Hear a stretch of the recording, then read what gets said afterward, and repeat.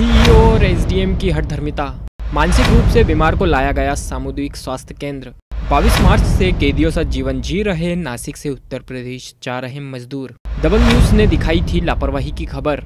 जी हाँ देवास ज़िले के सोनकच्छ में नासिक से उत्तर प्रदेश के विभिन्न जिलों में पैदल जा रहे मजदूरों को 22 मार्च को सीईओ अफसर खान के द्वारा यह कहकर क्वारंटाइन कर दिया गया था कि आप लोग बहुत दूर से पैदल आ रहे हैं। खाना खाकर थोड़ा आराम कर लो, फिर आपके जाने की व्यवस्था कर दी जाएगी। मगर उन लोगों के जाने की व्यवस्था अब तक नहीं की गई। परिणाम स्वरूप उन्हीं मजदूरों में से एक मजदूर को मानसिक रोग से वेदना झेलना पड़ी, जिसके बाद उसे सोनकच्छ सामुदायिक स्वास्थ्य केंद्र पर लाया गया। बता दें, सोनकच्छ स्वास्थ्य केंद्र पर मनोचिकित्सक नहीं होने के कारण ज़िले के मनोचिकित्सकों से वीडियो कॉल कर मरीज़ का परीक्षण कर उपचार करवाया जा रहा है। क्वारंटाइन किए किए गए लोगों की सूचना मिलने पर पूर्व में दबंग न्यूज़ के द्वारा उनसे मिलने, स्थानीय छात्रावास पर एसडीएम के द्वारा मौखिक आदेश से मिलने से रोका गया था, जिसका खुलासा पदस्थ अधीक्षक के द्वारा किया गया था। बाद में एसडीएम ने दूरभाष पर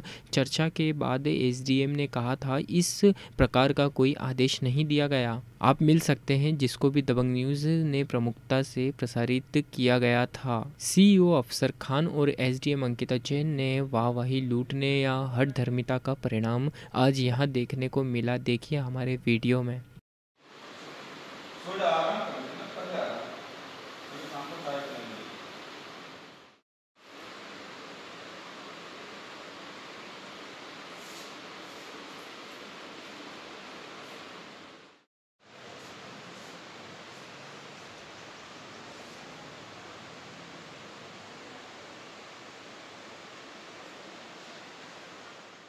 इस वक्त दबंग की टीम फिर पहुँची है सोनकच्छ।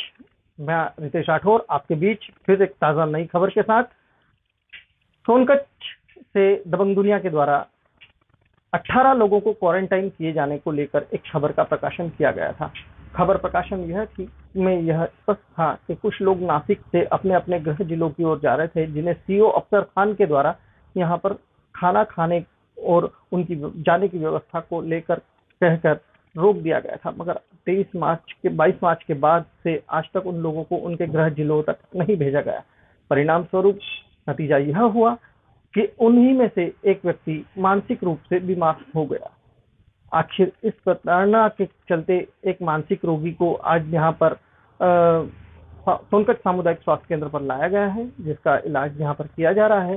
हालाँकि सोनकच्छ में मानसिक मना चिकित्सक नहीं होने के कारण सारी वीडियो कॉलिंग के द्वारा ही उसकी चिकित्साएँ सुविधाएँ दे दी जा रही हैं संबंधित व्यक्ति को।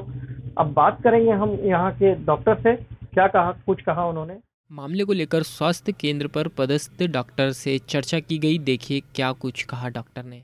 ये पेशेंट का नाम हरिप्रसाद है। इसके पिता का नाम शिव नारायण है। उम्र छत्तीस वर्ष है। ये नहारा मऊ फतेहपुर उत्तर प्रदेश का रहने वाला है। यह तीन चार महीने पहले करीब नासिक गाँव के अंदर मजदूरी के लिए गया था। मजदूरी से यह तेईस तारीख को लौट रहा था। तो सोनकच्छ के अंतर्गत इसकी जाँच के लिए इसको मध्य प्रदेश शासन के आदेशानुसार क्वारंटाइन करा गया तथा शासन की शासन की परिस्थिति की जो है वहाँ रहेगा, उस कारण इसको गर्ल्स हॉस्टल सोनकच्छ में रखा गया। इसको यहाँ पर परिवार परिवार से दूर था क्योंकि इतने समय से नहीं मिला था। और परिवार में जाना चाहता था बार बार ये जिद कर रहा था, परंतु यह जा नहीं पाया। उस कारण थोड़ा सा दिमागी संतुलन गड़बड़ हो गया था। इसको परसों सोनकर अस्पताल में लाया गया। सोनकर अस्पताल में इसका अच्छे से ट्रीटमेंट करा गया। दवाइयाँ दी हमारे ज़िले के अंदर भारती रिथोरिया मैडम और विजया सतपाल साइकेट्रिक मैडम का भी सहारा लिया गया, जिसके कारण आज ये स्वस्थ है और कल इन लोगों को फतेहपुर पहुँचा दिया जाएगा। यह शासन के आदेश हैं। हालाँकि डॉक्टर से चर्चा के बाद उन्होंने बताया कि छात्रावास में मजदूर, सभी मजदूरों को कल उनके गृह जिलों की ओर भेजने की व्यवस्था की जा रही है। दबंग न्यूज़ के लिए रितेश राठौर की रिपोर्ट।